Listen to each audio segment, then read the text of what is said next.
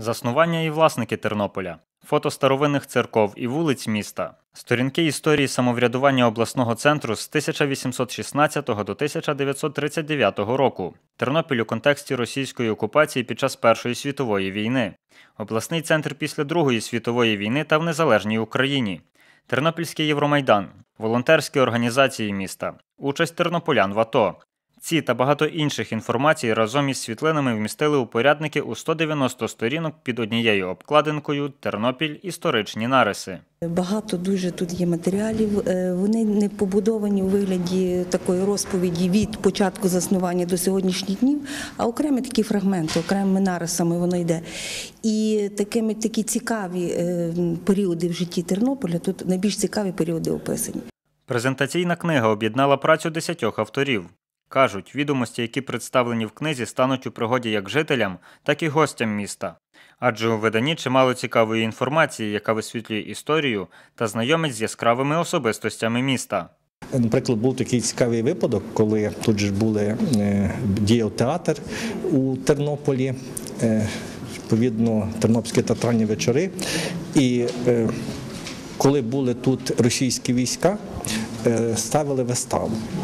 І там в тій виставі був уривок, який був ну по суті антиросійськи налаштований. І людина, яка цей уривок мала виконати, е, підсвідомо собі думає: от якщо я цей уривок кажу, то мене можуть і забрати. Але думаю, буде що буде. Я все ж таки це скажу, і там про Україну гарні слова, про її волю, про її майбутнє. Е, Вже все закінчилося. Тоді його викликав до себе е, російський офіцер і відповідно українською мовою сказав, що він вражений власне виставою і тому подібне. Ми від перших днів від газети були там. І е, я базувалася, е, тобто стаття ця в книжці була повністю на основі моїх публікацій на той час в газеті. От і по відгуках, наскільки я знаю сьогодні, коли батьки бачать своїх загиблих дітей у цьому матеріалі, це для них особливо теплий момент і про те, що про них пам'ятають. І на нашу думку, це дуже важливо, що навіть якщо беруть іноземні гості, вони будуть знати. Це завжди буде згадка про те, що ми ці події пережили, і ми маємо це. З таким виданням репрезентувати місто не соромно, кажуть у міськраді, і дякують людям, які долучились до праці над книгою. Маємо спільний продукт, який напрацьований е, всіма тернополянами разом. Я думаю, що це буде одною з наших візитних карток.